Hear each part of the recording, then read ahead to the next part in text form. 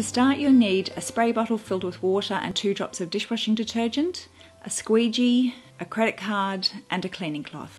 Make sure the glass is clean. I suggest you use the water and detergent solution and remove any paint or dust, or it will be trapped under the film and look unsightly. Roll out the film onto a smooth surface. The white is the backing paper and the grey is the film. Flip it so it's film side down and begin peeling the backing paper back.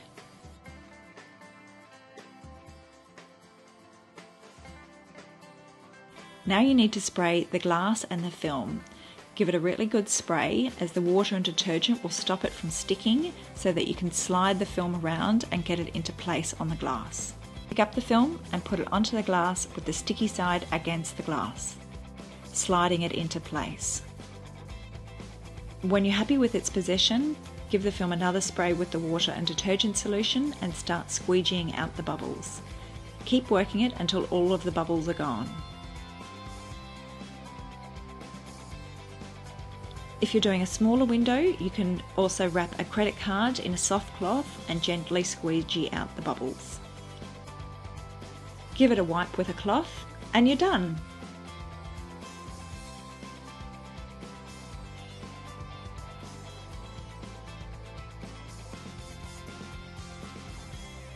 If you have a white crease in the film, gently warm it with a flame and then rub it till it's gone.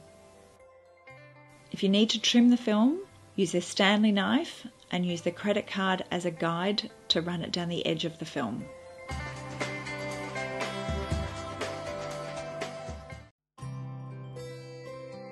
To start, you'll need a spray bottle filled with water and two drops of dishwashing detergent, a squeegee, a credit card, and a cleaning cloth. Make sure the glass is clean. I suggest you use the water and detergent solution and remove any paint or dust or it will be trapped under the film and look unsightly. Begin by rolling out the film onto a smooth clean surface. The film comes as three parts. There's the backing sheet, which is the white part. There's the film, which is the grey. And there is the application paper, which is over the design part of the film. The application paper is similar to masking tape. Begin by peeling off the thicker backing paper. Peel the paper flat back against itself, doing it very slowly to make sure the design stays stuck to the application paper. Don't be concerned if the paper looks folded or creased, it's only the backing paper and the film will not be affected. If the film is staying on the backing paper, simply push it back onto the application paper and continue peeling off the backing sheet.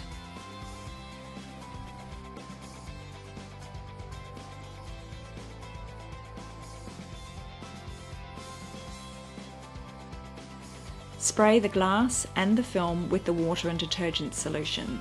This will stop the film from sticking so that you can slide it into position and get out any bubbles. Carefully pick up the film and put the sticky side against the glass. Slide it around until you get it into position. When you're happy with the position, spray the film with the water and detergent solution and start squeegeeing out the bubbles. Keep squeegeeing until all of the bubbles are gone. You now need to leave the film for at least an hour. The time will depend upon the amount of water that's behind the film and also the temperature of the room but come back in an hour and see if it's stuck. Spray the application paper with the water and detergent solution and carefully peel back the application paper from the glass, making sure the design remains stuck. Wipe the film dry and gently pat the design areas to make sure they stay in place. And you're done.